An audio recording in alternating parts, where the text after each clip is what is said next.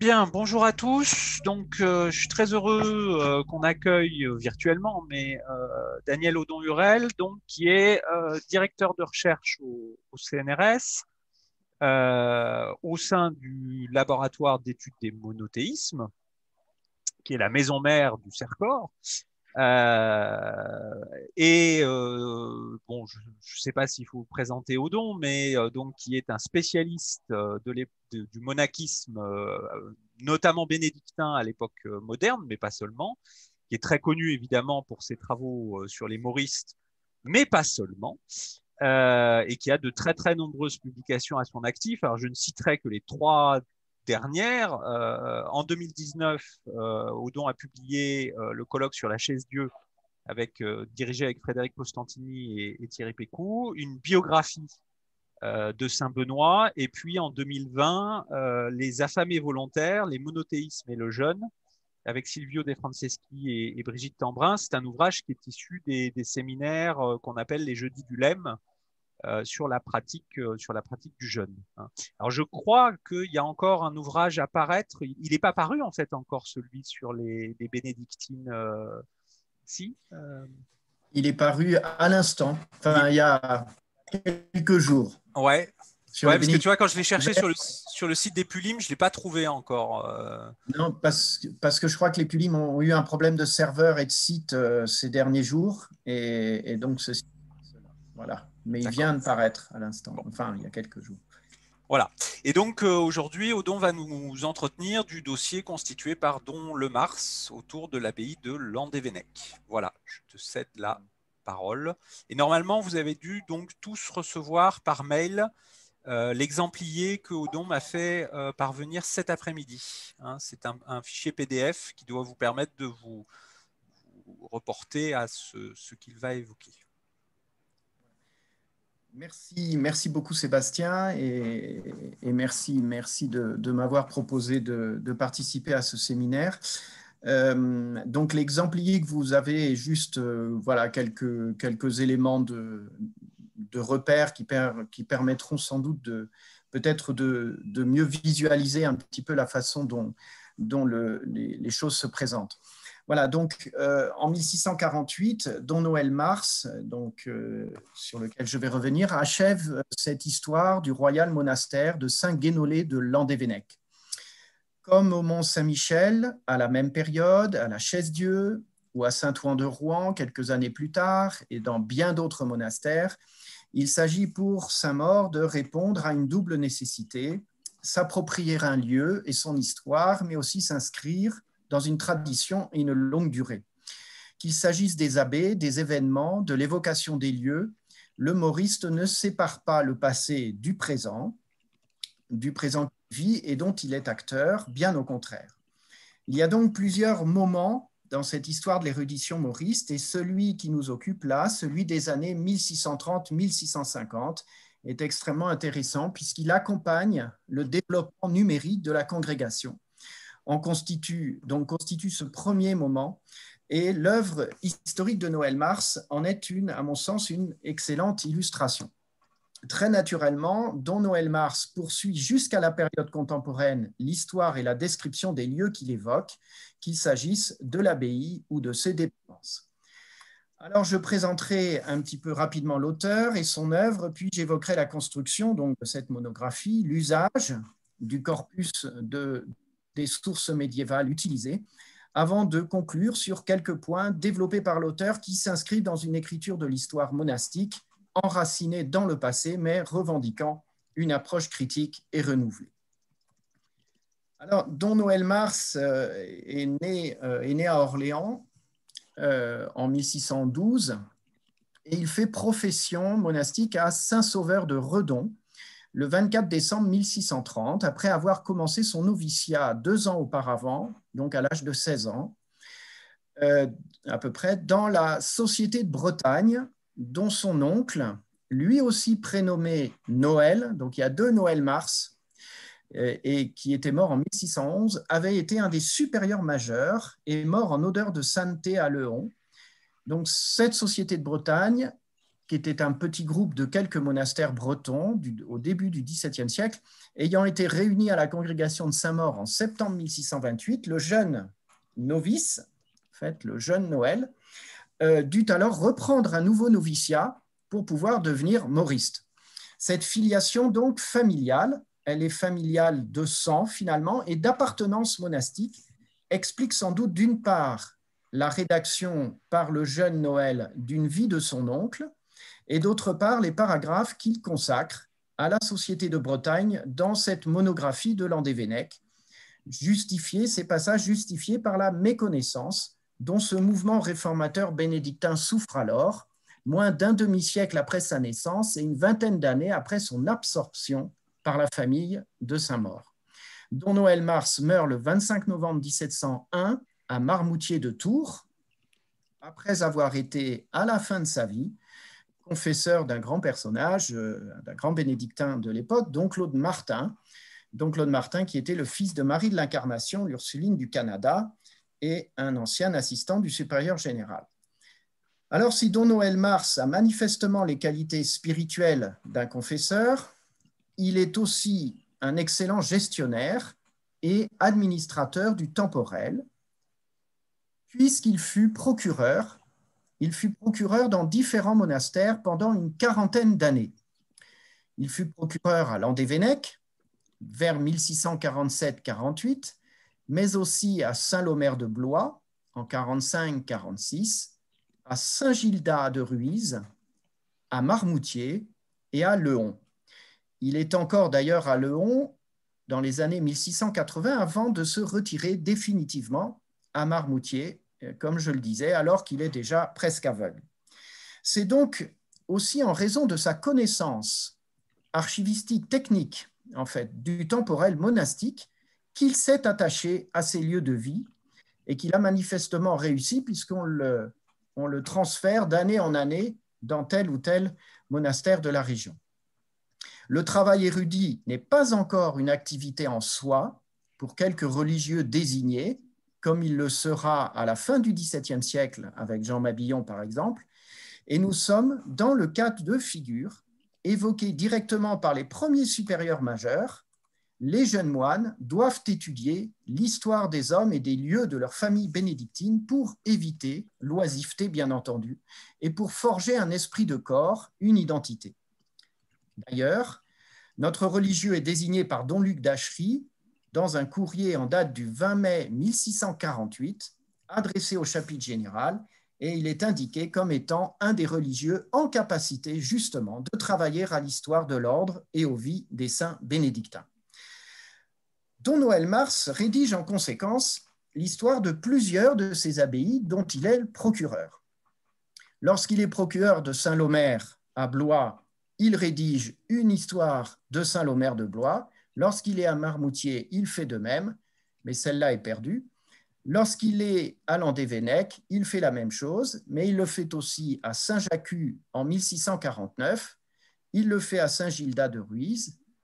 Il rédige aussi une Vita Septem Dormientium, la vie des sept dormants de Marmoutier, qui est restée manuscrite, ainsi que différents opuscules dont les dispositions pour bien mourir, la mort des anciens patriarches, sans oublier une traduction et un commentaire du psautier et du bréviaire réalisés à la, toute à la fin de sa vie.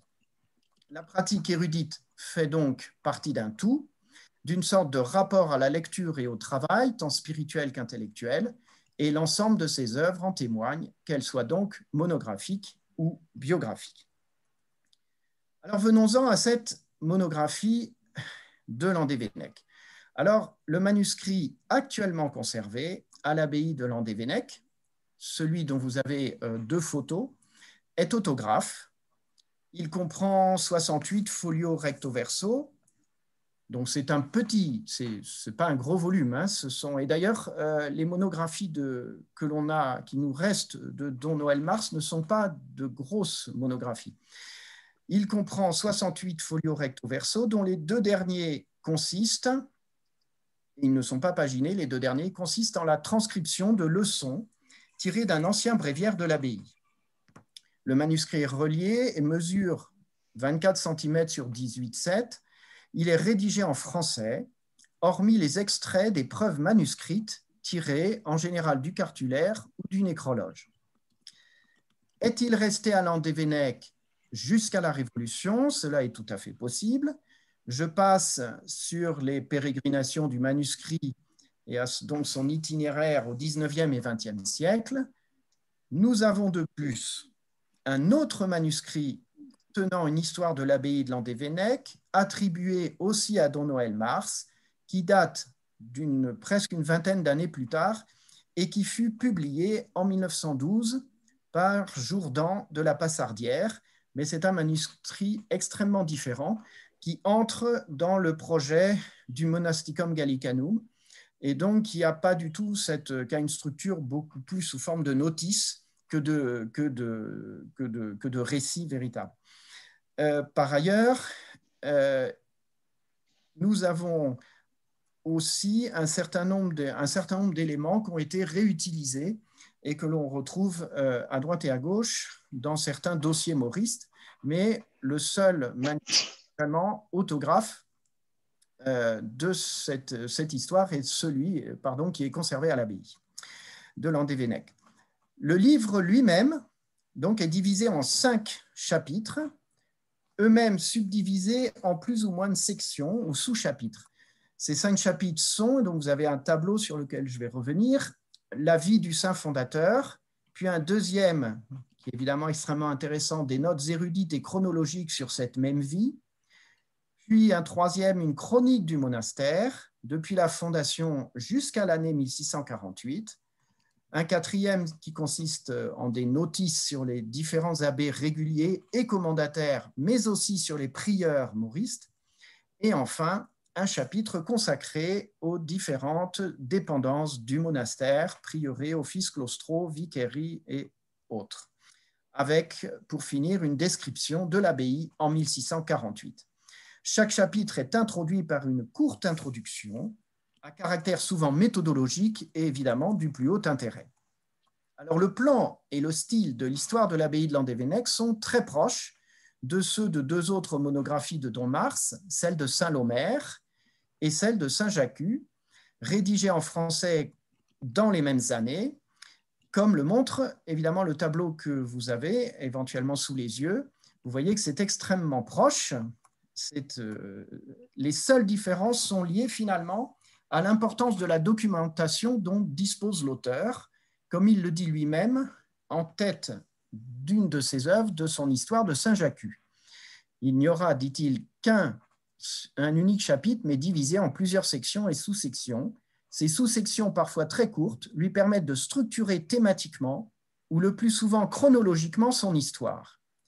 Ce souci d'un plan adapté à la chronologie spécifique du lieu se retrouve aussi dans le cas de Landévennec et est un peu moins visible pour Saint-Lomère de Blois. Dans ce dernier cas, pour Saint-Lomère, Don Mars adopte une chronologie par siècle avec différentes sections lui permettant de mieux cerner la chronologie locale. Cette même méthode d'écriture, mais adaptée aux situations, concerne aussi la question de la succession abbatiale. À Saint-Jacques, il consacre une sous-section aux abbés réguliers, puis une seconde aux abbés commandataires. Il reprend ce qu'il a fait pour Landévennec, même si c'est dans ce dernier cas, il avait ajouté une section pour les prieurs réformés de la Société de Bretagne et de Saint-Maur. De même, lorsque pour Saint-Jacques, l'auteur consacre sa première section aux notes sur la vie du fondateur, il ne fait que reprendre la méthode utilisée pour Landévennec autour de la vie de Saint-Guénolé, dans laquelle il consacre l'ensemble du chapitre 2 à apporter des éclaircissements et des preuves justificatives à ses affirmations, parfois même en contradiction avec l'historiographie plus récente. Et pour Saint-Jacques, il avait d'ailleurs envoyé préalablement la vie de Saint-Jacques à Saint-Germain-des-Prés, ce qui fait que sa monographie de Saint-Jacques ne commence que par finalement des notes chronologiques sur la vie de Saint-Jacques et pas avec la vie de Saint-Jacques elle-même, puisqu'elle était déjà envoyée. Enfin, toujours au sujet de l'abbaye de Saint-Jacques, il n'hésite pas, à renvoyer à ses propres monographies de Blois et de Landévennec. Landévennec, donc, et Saint-Jacques sont traités effectivement de la même façon par le même auteur. Ces monographies, donc Saint-Jacques et, et, Saint-Lomère-de-Bois, ont été euh, publiées soit à la fin du 19e, soit au tout début du 20e siècle. Ces monographies sont aussi marquées par ce que l'on pourrait appeler une sorte de devoir de mémoire personnel, individuel et collectif, dont Mars exprime particulièrement, particulièrement bien ce sentiment dans la préface de l'histoire de Landévennec, mais il le fait aussi au début de son travail sur Saint-Lomère, d'autant plus que le souvenir des destructions durant les guerres de religion demeure assez vif. L'histoire permet finalement de renouer le fil d'une présence pluriséculaire au-delà des troubles et de la perte documentaire qui en découle, les monuments, qu'il s'agisse des monuments, d'archives ou de, reliques. Reconstituer cette histoire rejoint donc la reconstitution du temporel, parfois aliéné, et ça dont Noël Mars insiste beaucoup sur ces questions-là, parfois aliéné moins d'un siècle plus tôt, mais là c'est à la fois l'historien et le procureur évidemment qui parlent lorsqu'il s'agit de récupérer euh, et de renégocier un certain nombre d'aliénations passées. Venons-en maintenant aux sources et à la bibliographie, évidemment, mise en œuvre. Alors, dans, cette monographie de Landévennec, l'œuvre consacrée à Landévennec en témoigne, dont Mars s'intéresse à l'abbaye dans son contexte, seul moyen de pouvoir inscrire cette histoire dans une chronologie, étant donné la pauvreté des sources existantes, en particulier pour les premiers siècles. En effet, il n'y a pas, selon Don Mars et tous les érudits du moment, d'histoire sans base chronologique aussi solide que possible. Cette chronologie se construit en partie, en particulier à partir du croisement des sources et de l'identification des noms de personnes et de lieux à partir avec l'aide aussi d'une bibliographie complémentaire ou de travaux complémentaires.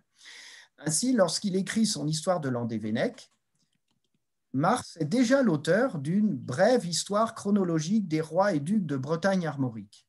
Manuscrit apparemment rédigé en 1640, maintenant perdu, perdu suite à l'incendie malheureux évidemment de la bibliothèque municipale de Tours en juin 1940, où, euh, pour tout vous dire, un grand nombre d'œuvres importantes de bénédictins de Saint-Maur ont disparu.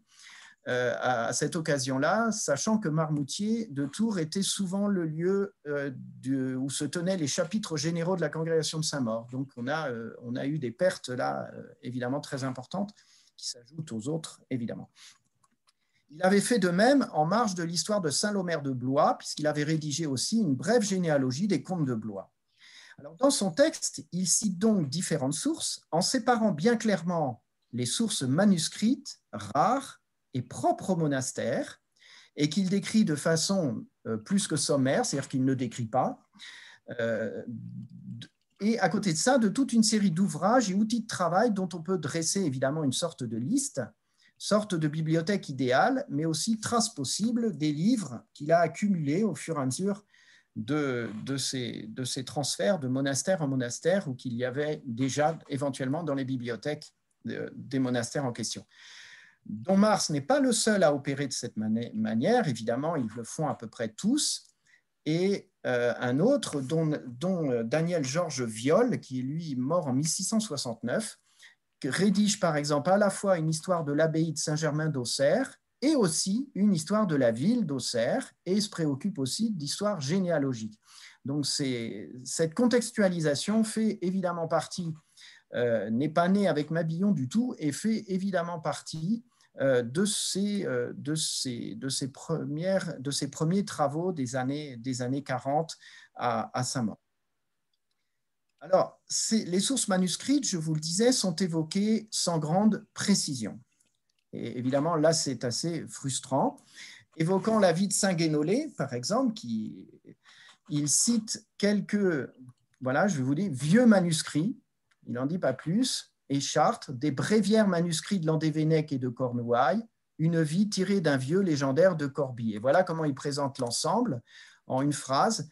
Cette vie a été fidèlement recueillie de trois vieux manuscrits de l'abbaye de Landévennec et des Chartres d'Istel, laquelle vie donc est conforme aux vieux bréviaires manuscrits qui sont dans la même abbaye et ceux de Cornuailles, item d'une vie du même saint tiré d'un vieux légendaire du monastère de Corbie en Picardie. Alors, en dehors de ces vieux bréviaires, manuscrits qui ont a priori, a priori disparu, mais dont on a sans doute des extraits dans les leçons publiées à la suite de la monographie, les autres documents nous sont connus par ailleurs. Le cartulaire a été publié au XIXe siècle d'abord et surtout récemment et magnifiquement réédité en 2015 sous la direction de, Stéphane, Stéphane Lebec. Et, euh, dans, cette réédition, euh, d'ailleurs, euh, on a un certain nombre de, contributions, dont celle de Sébastien Barret. Le manuscrit de Corby se trouve à la BNF, on, a, on a retrouvé ce manuscrit. Il est annoté par Don Anselme Le Michel, qui est, lié, à, qui est lié à Don Noël Mars. Et le nécrologe, dans une copie du XVIIe siècle, a, est aussi, euh, a été aussi édité par Jean-Luc Defic dans les années 1980. Alors, si, mais aucune, aucune, euh, aucune précision quant à la description de ces différents manuscrits nous sommes là évidemment devant, euh, devant une, certaine, on pourrait dire une certaine frustration, mais le, problème, c'est pas, pour, enfin, pour Don Noël Mars, c'est essentiellement finalement euh, le fait que ces manuscrits sont au monastère, dans le monastère, et sont inscrits dans cette réalité médiévale qui l'occupe. Alors, si les études postérieures et surtout les plus récentes ont pu faire le point sur cette documentation, donc dont Mars ne décrit pas, n'analyse pas, et c'est l'affirmation de leur ancienneté et de leur provenance locale qui suffisent. Il n'a pas encore les outils pour transcrire et décrire, ou il ne s'agit pas ici d'éditer des textes du tout, mais seulement de les utiliser comme preuve de ce que l'on affirme ou de ce que l'on corrige. Ainsi, finalement, les sources hagiographiques ce qu'il appelle les légendaires, les anciens bréviaires essentiellement, vont nourrir la vie du fondateur Saint-Guénolé. Donc il, reprend la, vita connue, mais euh, il essaye de, la préciser en, croisant avec, euh, avec les leçons des bréviaires. Le cartulaire, lui, nourrit la vie du fondateur, mais nourrit aussi la topographie, nourrit les questions des réseaux du développement monastique et temporel, en permettant aussi largement d'affiner la chronologie. Il n'est pas rare que Don Mars croise les informations de manière à nourrir et corriger d'autres dossiers, comme la liste des évêques de Cornouailles, ou d'ailleurs, ou, ou ailleurs, la liste des rois et ducs de Bretagne, surtout pour les périodes les plus anciennes, évidemment. Enfin, le nécrologe et essentiellement le nécrologe abbatial permet d'établir la liste des abbés, même si Noël Mars interprète et extrapole volontiers afin de permettre une succession ininterrompue des abbés, ce qui est évidemment nécessaire. Bien souvent, Noël Mars indique en marge le folio du nécrologe, il le fait que pour le nécrologe, ce qu'il ne fait pas voilà, dans le cadre du légendaire d'un des d'autres manuscrits ou même du cartulaire. Et ça, c'est évidemment assez intéressant. Euh, on a vraiment l'impression qu'il a, là pour le coup, il a, je sais pas, il a le nécrologe sous les yeux ou il note en tout cas les références du nécrologe. Alors, évidemment, à partir de cela, la méthode utilisée est explicitement quand même évoquée dans un chapitre, le chapitre 2, intitulé Note chronologique sur la vie de Saint-Guénolé. Alors pour Noël Mars, rédiger une vie du fondateur est une chose, mais ce qui est plus important, entre guillemets, enfin, c'est son texte, avoir confirmation et intelligence d'Issel est, un autre, est une autre chose.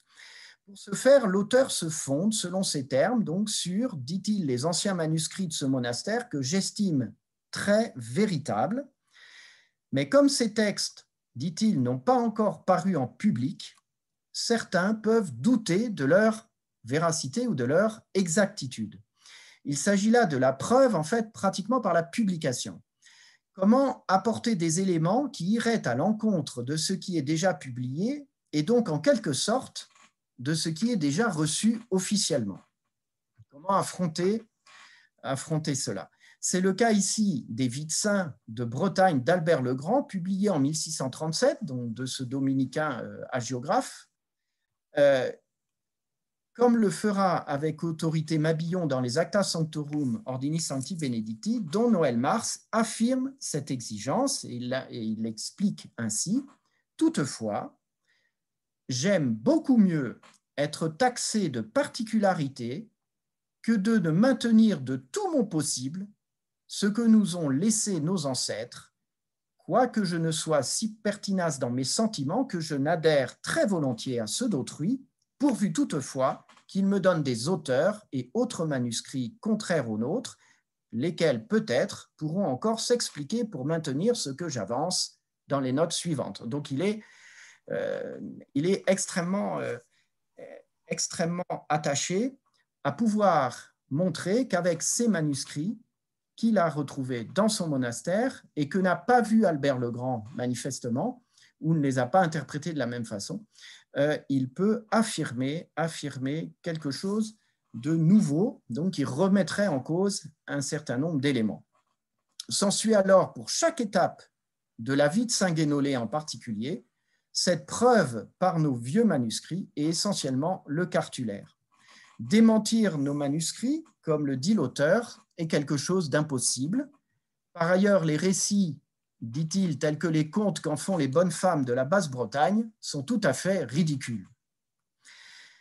Ils ne peuvent contrebalancer des textes anciens ou l'absence de mention de tel ou tel fait.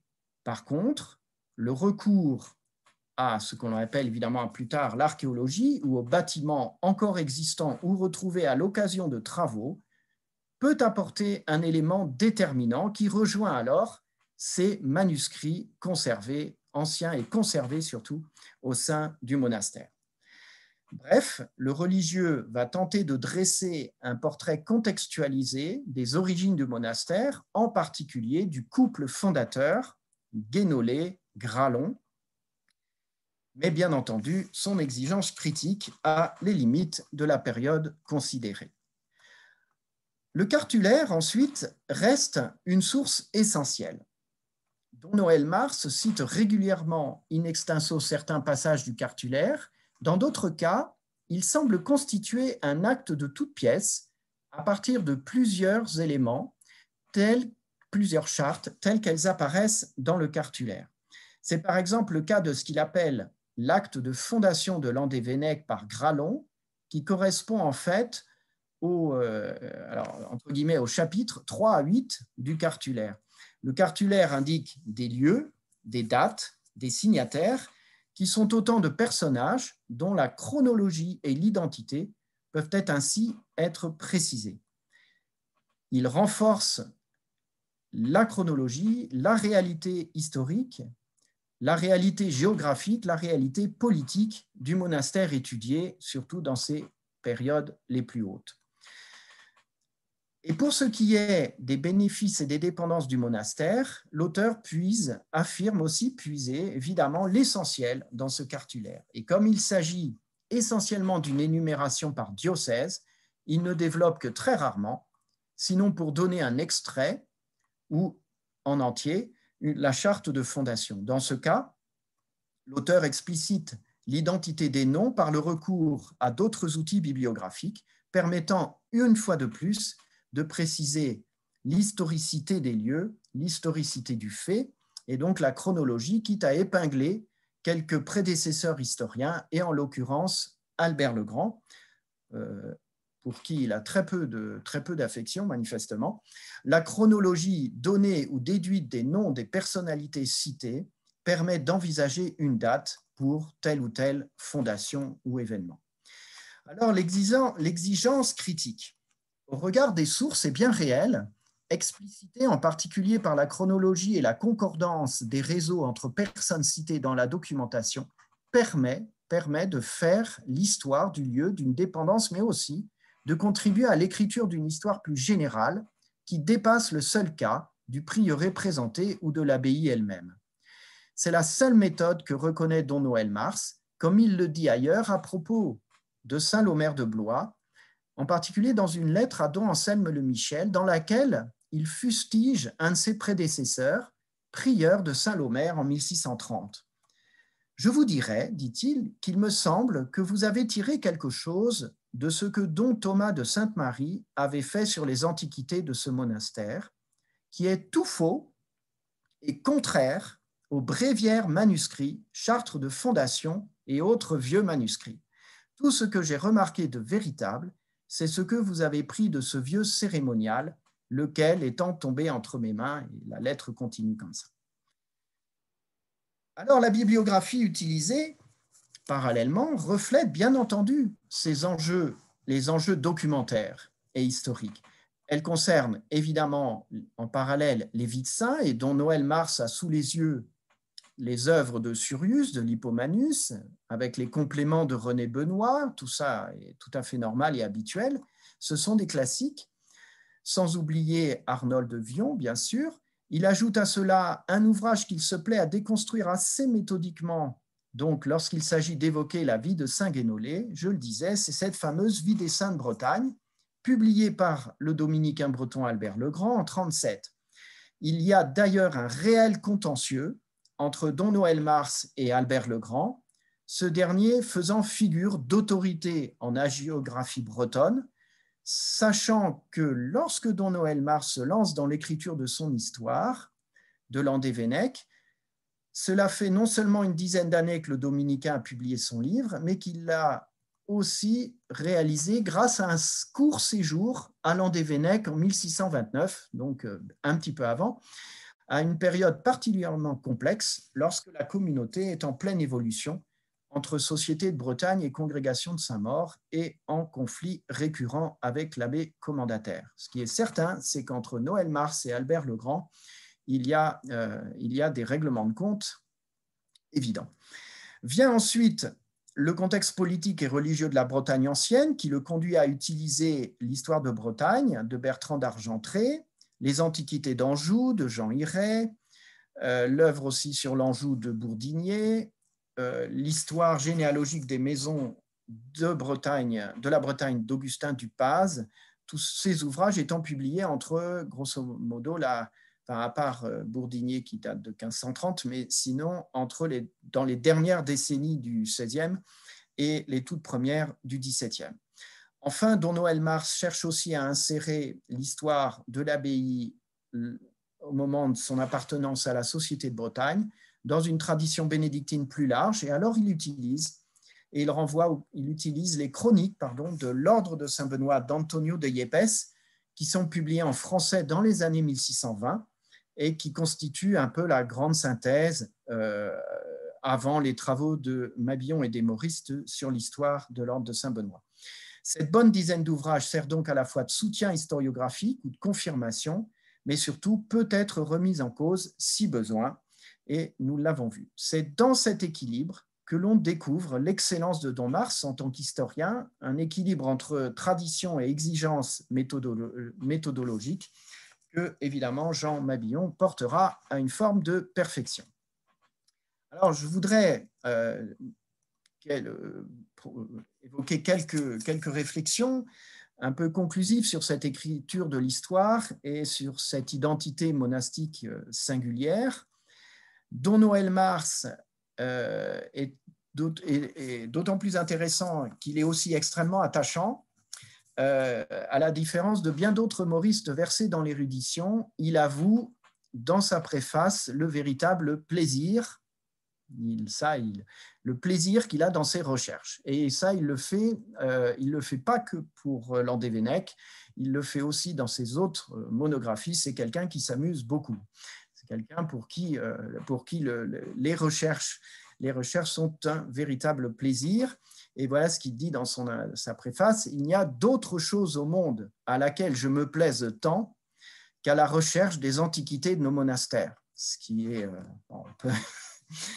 et il a chose qui m'apporte moins de satisfaction. Peut-on avoir un plus agréable et plus honnête plaisir que de mettre au jour et donner au public ce qui n'a jamais été que dans l'obscurité?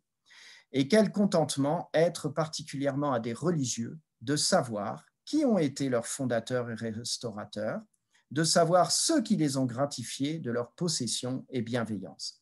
C'est un plaisir, dit-il, que lui procure l'idée de livrer au public une histoire jusque-là donc obscure, un plaisir de pouvoir offrir aux religieux un ancêtre commun, un ancêtre commun, le fondateur, Guénolé, une filiation aussi de réformateur et de bienfaiteur, car connaître cette filiation monastique, c'est aussi reconnaître la permanence d'une relation privilégiée entre ces hommes devenus intercesseurs auprès de Dieu, et il parle très souvent de l'expression, il utilise l'expression la divine bonté, et les moines actuels dans cet effort de reconstruction spirituelle et temporelle à laquelle en quelque sorte il participe pleinement avec son ouvrage et dont il témoigne. Donc cette indissolubilité des liens entre érudition et réforme est ainsi traduite par la mise en ordre de la mémoire et de l'histoire, tout comme la réforme est une mise en ordre matérielle, temporelle et spirituelle au service d'une communauté et d'individus. Comme je le disais, chaque chapitre est précédé d'une préface de quelques lignes qui explicite le dessin du chapitre et légitime le travail entrepris. Et je voudrais terminer avec trois éléments qui me semblent importants euh, aux yeux de l'auteur. Premier élément, c'est que le récit, dit-il, des mérites des saints du lieu, et en l'occurrence essentiellement de Saint Guénolé ici, est absolument nécessaire, je disais, car c'est grâce à lui que l'abbaye est toujours debout. Et donc, il renvoie, toujours à, ce lien. L'histoire matérielle, architecturale et spirituelle du monastère peut ainsi prendre corps pour des religieux qui, dans les années 40, donc, entreprennent cette reconstruction. La deuxième affirmation qui revient très régulièrement euh, dans ce texte, c'est la question de la chronologie.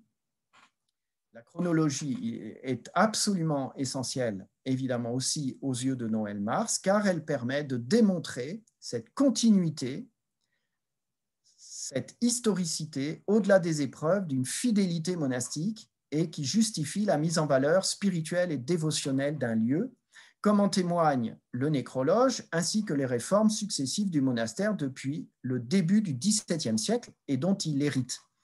La chronologie est, dit-il, absolument nécessaire pour confirmation et intelligence de la vie. Il le dit, ça ce sont ses termes. Cette chronologie est au cœur du déroulé de cette histoire, depuis la mort vers 460 de Guénolé jusqu'à 1648, sous la forme effectivement de sections chronologiques, 460 à 818, 818 à 1100, et ainsi de suite, cette chronologie est véritablement pensée et elle permet de mettre en valeur certains faits, la fidélité des moines à la pratique instituée par Guénolé jusqu'en 818, la construction du monastère bénédictin à partir de l'adoption de la règle de Saint-Benoît en 818, une construction spirituelle, politique et matérielle, la fameuse histoire miraculeuse de Notre-Dame du Folgat au XIVe siècle, les troubles et les épreuves de la fin du Moyen Âge, les aliénations du XVIe siècle et enfin les étapes réformatrices. Ce même souci anime le rédacteur dans le chapitre 4 consacré à la succession abbatiale, non sans difficulté extrême jusqu'au XIe siècle, évidemment, puisque le moine a horreur du vide dans toute généalogie abbatiale et qu'il faut absolument boucher les trous.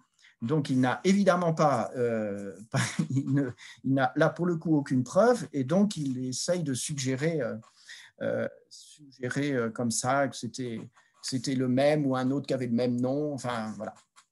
Troisième élément, c'est cette forme d'exigence critique qui conduit parfois à être en désaccord avec ce qui est admis jusqu'ici. Il y a donc un véritable risque que dont Noël Mars assume totalement comme, euh, comme je l'ai vu. La, la, valeur ajoutée constituée par la publication imprimée est intéressante et renvoie à la question du statut de l'écrit et du livre dans cet espace érudit et public, dont Mars est prêt à débattre s'il le faut, ce qui laisse entendre qu'il pouvait envisager la publication éventuelle de sa monographie.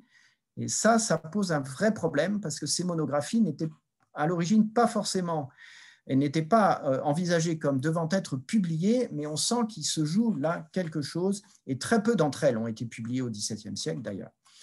Ainsi, lorsque vers 1674, dont Jean Mabillon dresse un avis pour faire l'histoire des monastères, il ne fait qu'officialiser, préciser une méthode qui allie pratique traditionnelle d'écriture de l'histoire, sous forme de chronique, au sein des monastères, et construction méthodologique issue, en partie sans doute, des pratiques jésuites en matière d'agiographie. Là, je crois qu'il y a une influence.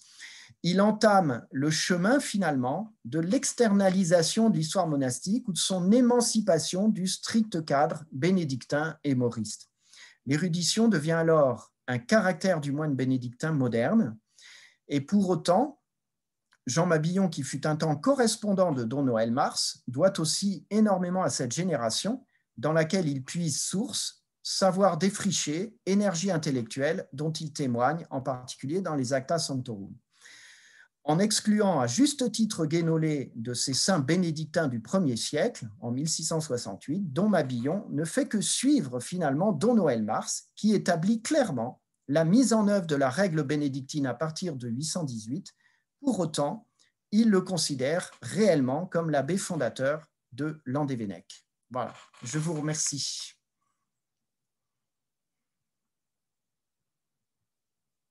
Ben, c'est nous qui te remercions, Odon, pour euh, cette, euh, cette étude fouillée d'un de, d'un érudit de la première. C'est la première génération d'érudits de Saint-Maur, en fait, hein, si, si, je comprends bien. Hein, donc, euh, qui a effectivement été longtemps éclipsé par, par les générations suivantes. et qui est finalement contemporaine des, des, grands historiens généalogistes de type Duchesne, Belly, alors, est-ce qu'il y a des questions? Il y en a certainement. Oui, Aude. Alors, je, suis désolée, ma, ma, vidéo ne fonctionne pas, donc euh, c'est pas très poli, mais bon. Euh, moi, j'ai très hâte de pouvoir lire du coup l'édition euh, de ce manuscrit. Jérémy Delmul m'a dit qu'il était entre ses mains.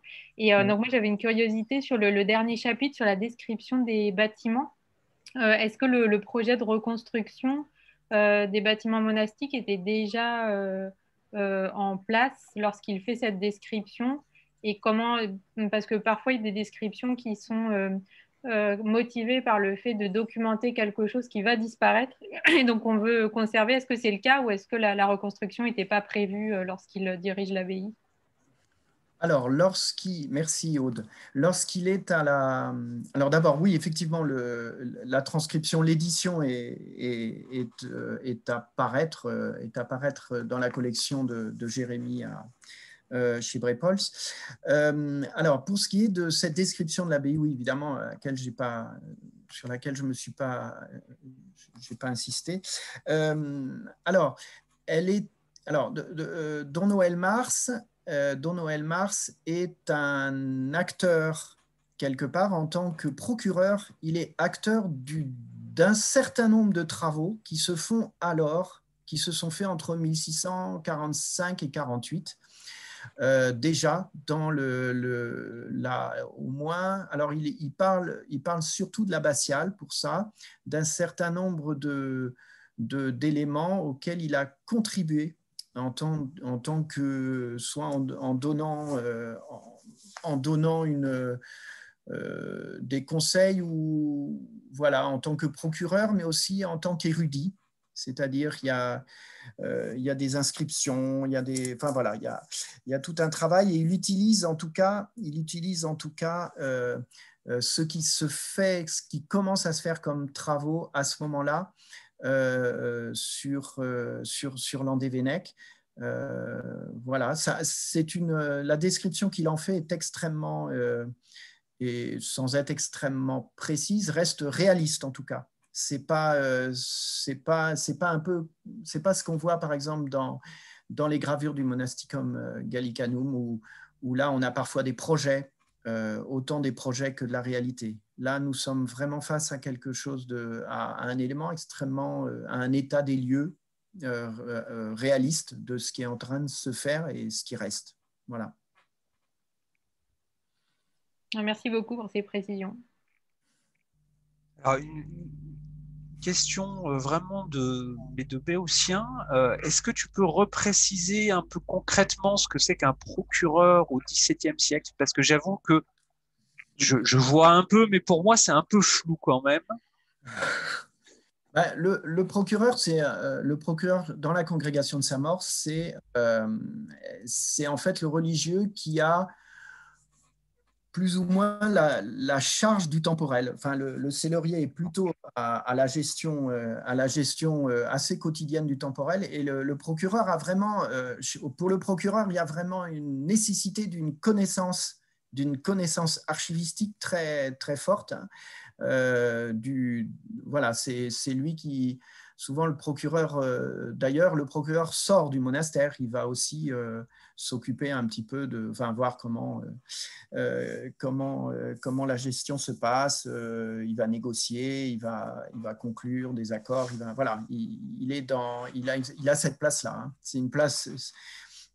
Et alors, le fait qu'il soit procureur en différents monastères comme ça, dans cette période-là, euh, signifie pas du tout du gyrovagisme Euh, monastique, mais, mais, plutôt une preuve quand même euh, d'une forme, de, je pense, d'une compétence euh, technique. et puis, il connaît plein de monde, surtout, je pense. Et il connaît beaucoup de monde. C'est aussi le, le neveu, donc c'est le neveu de Noël Mars, le premier Noël Mars, qui lui, pour, pour lequel il y a eu un début de procès, de procès de béatification. Donc, donc c'est une personnalité très très connue, très forte. Et donc, euh, je pense que le Noël Mars dont nous parlons là est, quelqu'un qui a un fort réseau, euh, en tout cas dans toute la province. Alors, sur le, sur le texte lui-même, si j'ai bien compris, en fait, euh, il n'utilise pas le système des preuves transcrites à la fin. non. Il, intègre quoi des, des, citations au fur et à mesure du texte éventuellement? Oui, c'est-à-dire, voilà, il, euh, en, en, voilà, pour la, alors pour la, pour la vie de Saint-Guenolé, pour la vie du fondateur, il fait le récit de la vie et après, dans les notes chronologiques, dans les notes sur, euh, eh bien, il, euh, il, il justifie, il justifie ou il éclaircit les événements de la vie de Saint-Guenolé en, en citant, en citant euh, soit des morceaux du cartulaire, soit euh, voilà, des petits morceaux comme ça qu'il introduit, qu'il cite pour justifier euh, le fait que Saint-Guénolé est forcément passé par tel endroit ou par un autre endroit ou qu'il n'a pas fait ceci ou cela. Donc ça, c'est un premier point. Et alors, pour ce qui est de, pour ce qui est de, en particulier de la liste des abbés, là, il reproduit, enfin, c'est ce que j'ai mis un peu dans l'exemplier, c'est-à-dire qu'il reproduit euh, le nécrologe. Voilà, pour, pour montrer c'est bien lui parce que euh, voilà. Alors au début évidemment le nécrologe il y, a, il, y a, beaucoup de trous donc euh, donc là il, ne reproduit pas grand chose et puis après il se met à reproduire très précisément voilà. Mais il n'y a pas il n'y a pas ce qui se fera alors je ne veux pas généraliser mais ce qui se fera quand même plus tard où il y a vraiment une édition, une édition de, textes dans des preuves justificatives après, ce que fait euh, Martin pour l'histoire de Marmoutier, ce que, euh, ce que font d'autres, où, là, il y, a, il, y a, y, a, un livre de, de preuves, hein, de preuves qui sont pour le coup éditées. Éditées, donc il y a un travail d'édition. Là, il n'y a pas du tout de travail d'édition. Euh, voilà, il reproduit, il reproduit ce qui l'intéresse à un moment donné, quelque part. Et alors, parce que je me souviens plus, la, circulaire générale euh, qui, donne justement en exemple le travail de Duchesne euh, en disant voilà quand vous faites l'histoire d'un monastère, euh, mm. vous devez imiter Duchesne et donc donner les preuves à part, etc. Elle est, elle est, elle est avant, elle est, ou elle est un peu après? Je, je me souviens plus bien. Non, c'est à peu près contemporain, non Donc ça veut dire qu'il y, a eu un moment de pour la mettre en application. Je, je me souviens plus. Hein, je... Oui. Tu m'entends?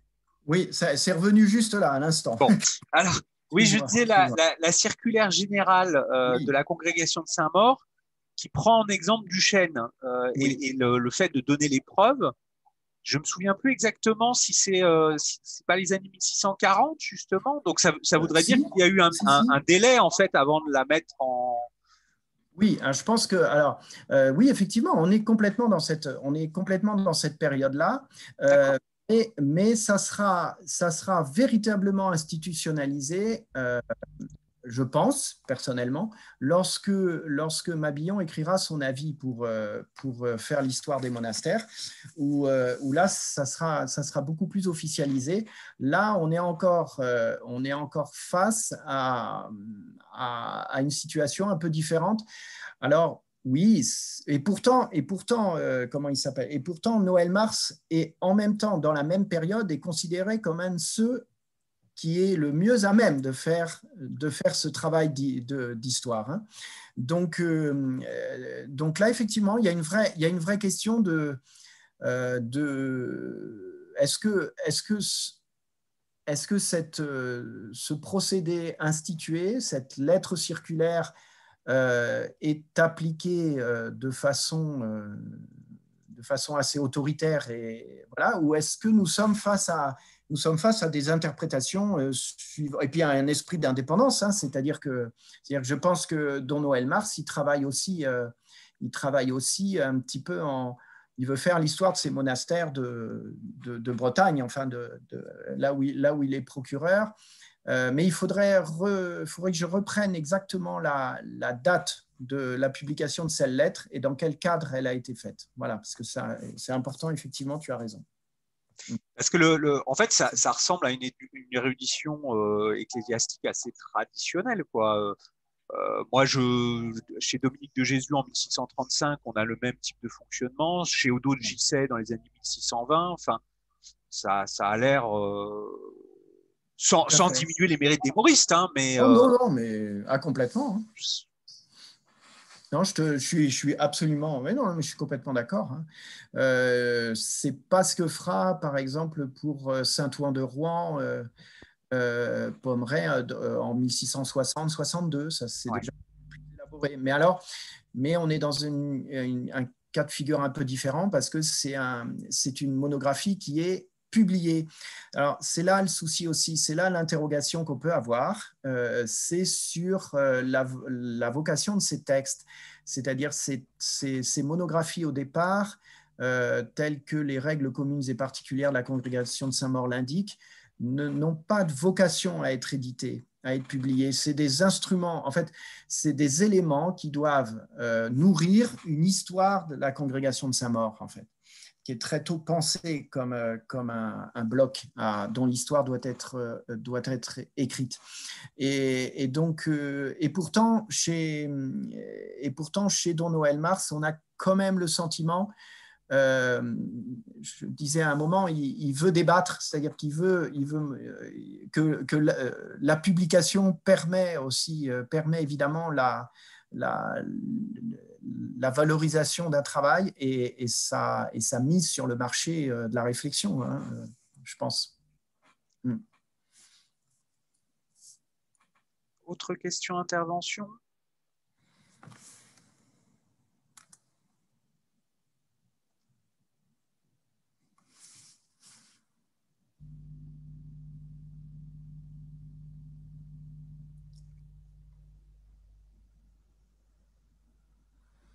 Moi, j'ai été très, très frappé euh, par ce que tu as dit sur le, la rupture de, des guerres de religion et la volonté de renouer le, fil, parce que c'est des choses, effectivement, qu'on rencontre aussi chez un Dominique de Jésus, par exemple, mais qu'on mm. rencontre aussi chez Catel.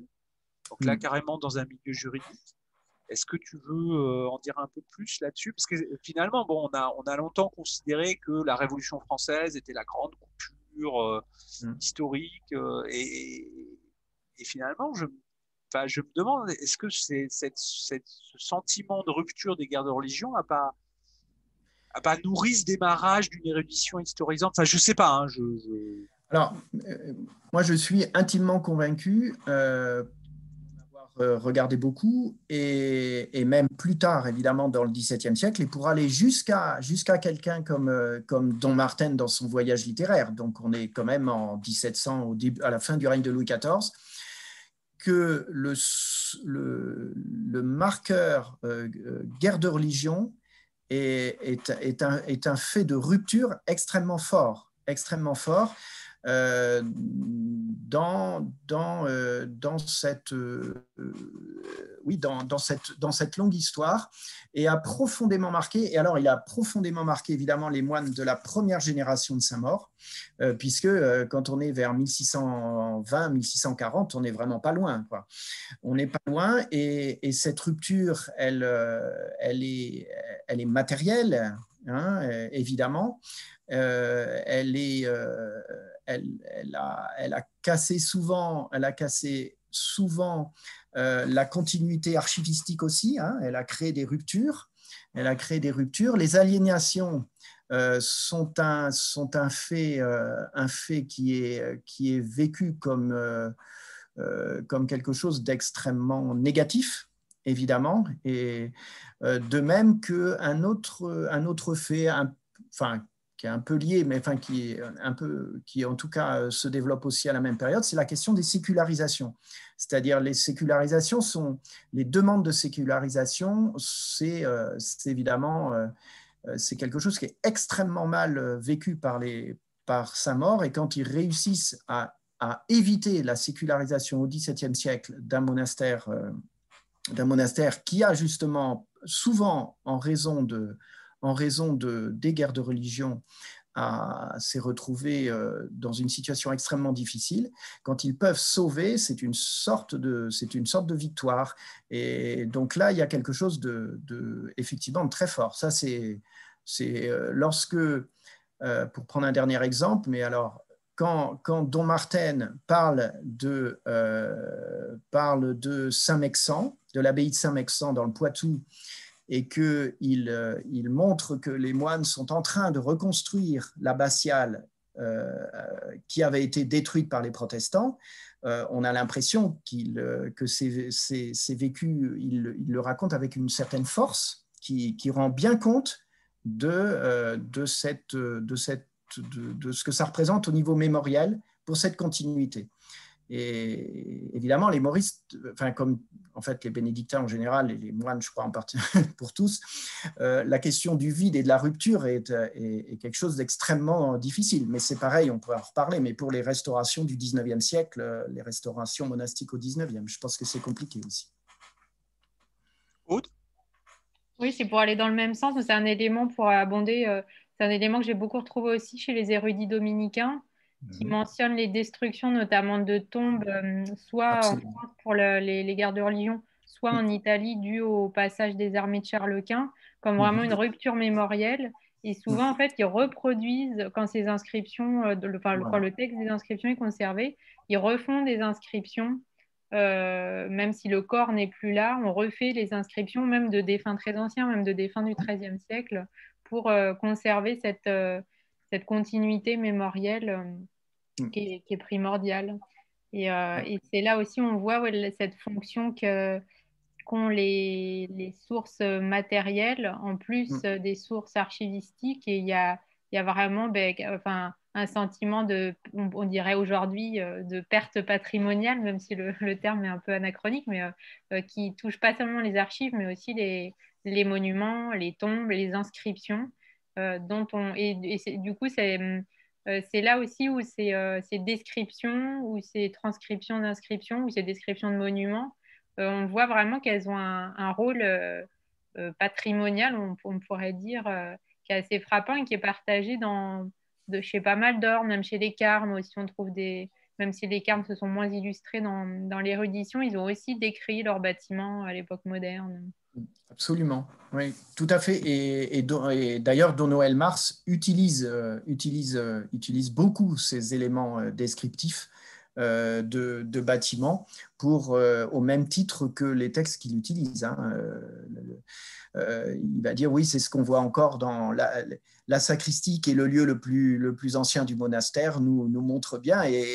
Etc. Il va comparer et il va, il va euh, nourrir. Ah oui, cette, cette dimension oui, patrimoniale, je crois, mais euh, est, réelle et mémorielle. Et, et, en termes de sources aussi, ça c'est certain. Oui, oui. Merci. Oui, Sandrine? Alors moi, j'ajouterais juste, avant de donner la parole à Sandrine, que c'est valable, y compris chez les chanoines euh, séculiers.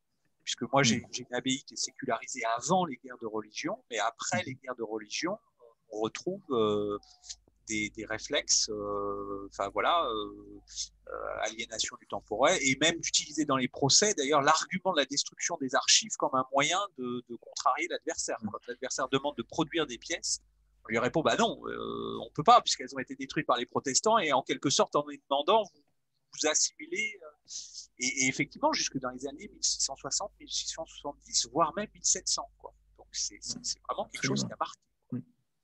Alors, Sandrine, et puis ensuite, euh, je crois que Sébastien levait la main. Est-ce que vous m'entendez? Oui. Très bien. D'accord. Euh, oui, c'était justement, je, rebondissais sur les chanoines euh, pour confirmer qu'à Lyon, on avait également cette vision, et puis qui, n'est pas qu'une vision des guerres de religion comme d'une cassure dans l'histoire des collections. à l'appui, il y a une représentation, un tableau qui représente la, l'attaque, si j'ose dire, de la cathédrale de, Lyon, pardon, pas Tours, euh, par les, protestants. On les voit monter sur des échelles en train de, s'en prendre aux statues. Et la mémoire euh, des bibliothèques lyonnaises a parfaitement retenu que c'est à ce moment-là qu'il y a, paraît-il, des autodafés, mais surtout une grande dispersion des... Enfin, une grande dispersion. Quelques manuscrits, on ne sait malheureusement pas lesquels, de la bibliothèque du chapitre euh, disparaissent. On est sûr, dans un cas, euh, une partie d'une vieille latine a été mise à l'abri euh, en Angleterre, puisqu'elle est aujourd'hui à Oxford.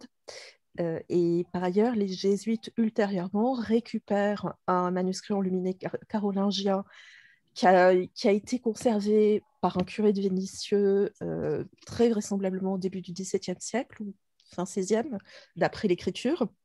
donc on on peut imaginer que c'est quand même très très lié parce qu'on voit pas bien comment, euh, en plus c'est un très beau manuscrit luxueux, on voit pas bien du tout comment un curé de Vénitieux aurait pu avoir ce type de, document euh, légitimement, entre guillemets, enfin il l'a pas acheté, euh, c'est un document institutionnel. Donc c'est vrai que c'est très tentant de supposer qu'il y a eu quelques... Que tout n'a pas été perdu.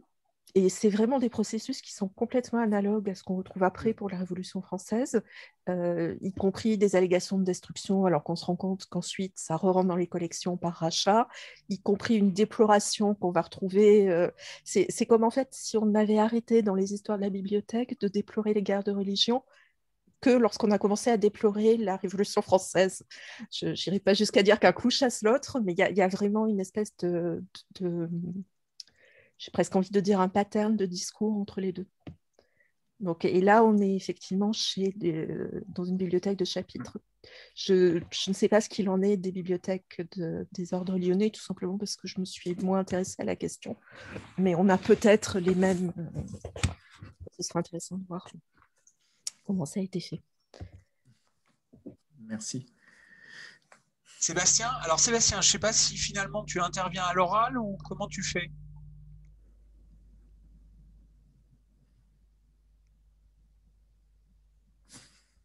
Non, tu écris. Bon, ah. alors écris. Écris.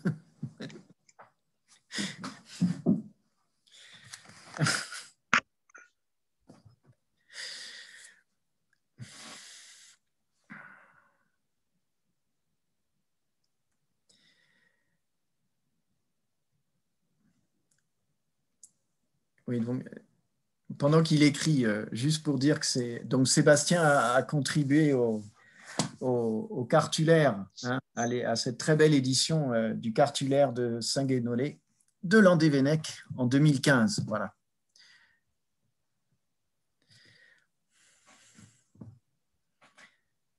Alors, pour Cluny, c'est pareil, grosse rupture documentaire et institutionnelle au moment des guerres de religion.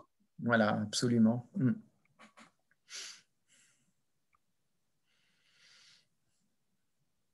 C'est bien, il écrit très vite. Une remarque en passant.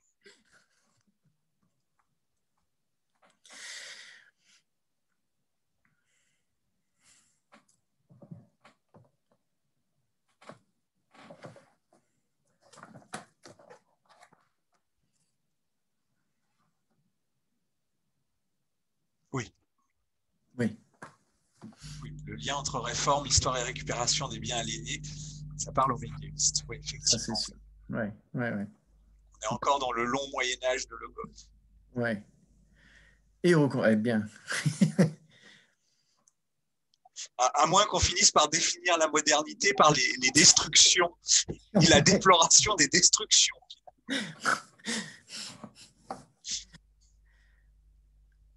Alors, Sébastien, une question, de détail. Ouais. Yepes est-il beaucoup utilisé? Oui, euh, alors là, je peux, je peux répondre tout de suite. Euh, Yepes, euh, est utilisé comme essentiellement et seulement, d'ailleurs, pour ce qui est dit de la société de Bretagne. C'est-à-dire que Noël Mars, Noël Mars considère, considère que, que Yepes dit très peu de choses. Il parle un tout petit peu de la société de Bretagne, mais pas beaucoup. Et comme il n'en parle pas beaucoup, lui, il va en parler plus. Et ce qui fait que nous avons à l'intérieur de la, de la monographie euh, de Landévennec, nous, nous avons euh, des pages importantes sur l'histoire de la société de Bretagne, euh, qui, est, pour lesquelles d'ailleurs il reste, là je fais un appel, hein, il reste Oh, on pourrait, oui, il reste une, thèse à faire, je pense, sur la société de Bretagne, au moins, euh, au moins euh, un bon master, euh, parce qu'il y, a beaucoup de choses. Et, et, c'est encore extrêmement, ça a été vraiment sous-étudié. Donc Yepes est utilisé pour ça.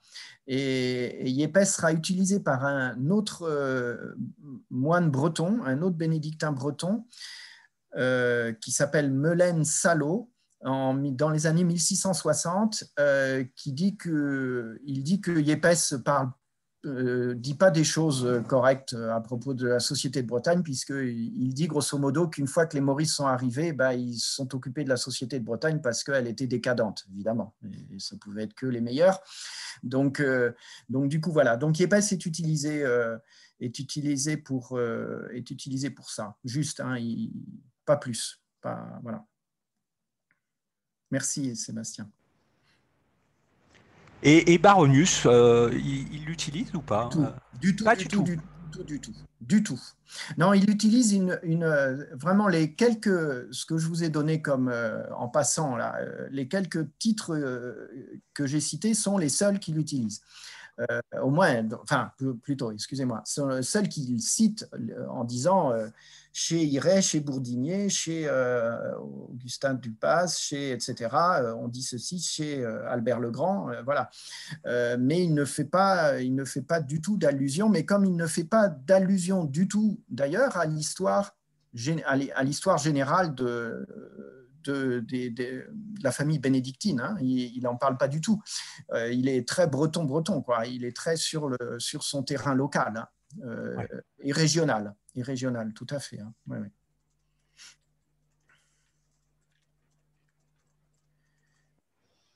Et effectivement, le YEPES qu'il utilise, c'est le YEPES qui est traduit en français, euh, qui est traduit en français dans les années 1620 euh, par un bénédictin toulousain euh, de la congrégation des exempts de France, d'ailleurs, pas par qui, voilà, par, dont le nom m'échappe tout d'un coup là, mais voilà, qui est effectivement une bonne, une bonne traduction.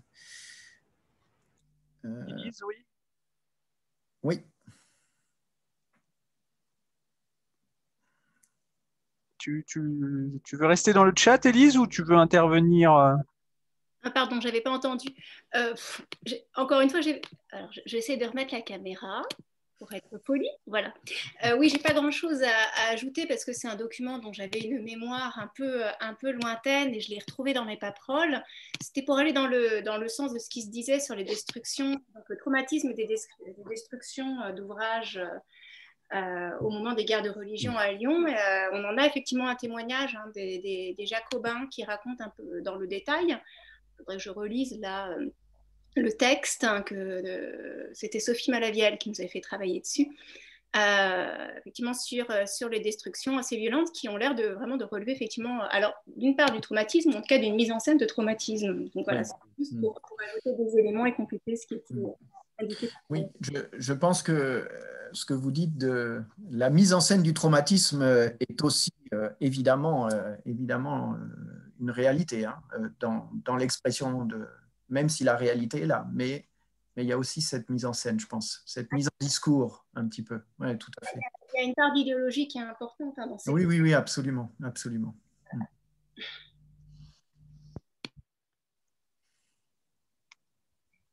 Bon, bah écoutez, merci à tous. Euh, alors, je termine juste en rappelant, donc on se retrouve le 9 avril à la même heure euh, pour l'intervention de, Sébastien Barret euh, sur les archives de Cluny et puis Lambert de Barive et d'autres. voilà, hein. donc 9 avril, 16h, 17h, le, le, jour le bouge, mais pas, pas l'horaire. Merci encore, Odon, et puis je vous souhaite à tous une très très bonne soirée et à bientôt. Merci. Au revoir. Merci beaucoup. Au revoir. Au revoir. Merci à tous. Bonne soirée. Bonne soirée.